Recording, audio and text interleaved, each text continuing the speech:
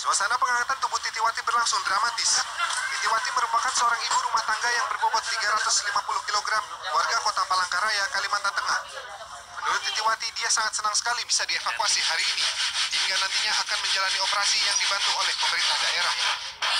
Ya rasanya gemetar aja lah, Karena nggak pernah dioperasi bu ya. nggak pernah. Ya, Jadi harapan ibu sendiri gimana bu? ya harapanku ya semoga seperti semula lagi lah sehat. Kembali lagi. Ya, Karena tubuh Titiwati sangat berat, Jumat pagi tim evakuasi harus menjebol jendela hingga pintu rumah. Butuh hingga 20 orang untuk menaikkan tubuh Titiwati ke atas tandu dan membawanya ke mobil pick up. di rumah dibongkar jendelanya dibongkar dua jendela dibongkar lewat jendela